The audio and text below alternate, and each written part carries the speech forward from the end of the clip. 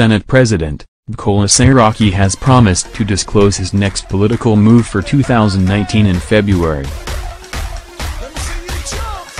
TheCable reports that Saraki spoke in an interview with Osasu Igbenedion on the Osasu show on the sidelines of the unveiling of Bolaji Abdullahi's book, On a Platter of Gold, How Jonathan Won and Lost Nigeria. Saraki said the focus now should be on how to develop the country as there was enough time to talk and plan for 2019. He said, You are like the tenth person who has asked me, so there is a queue.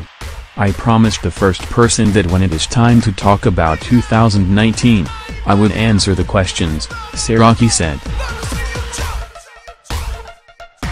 Anytime next year from February, you can ask us about what are my intentions in 2019 or whether I want to come back to the Senate.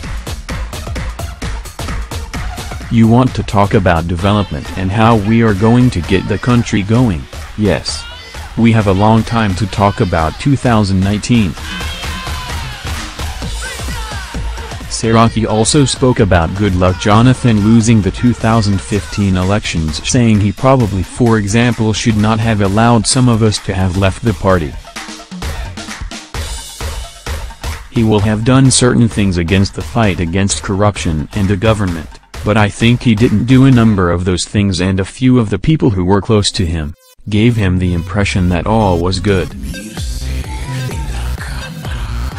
Meanwhile, Atiku said he decided not to wait and participate in the APC primary election because the party had become a one-man business. He said since President Buhari came into power, he failed to take charge of the growth of the party. The former vice president expressed optimism of defeating President Buhari in 2019 saying he has lost a lot of goodwill.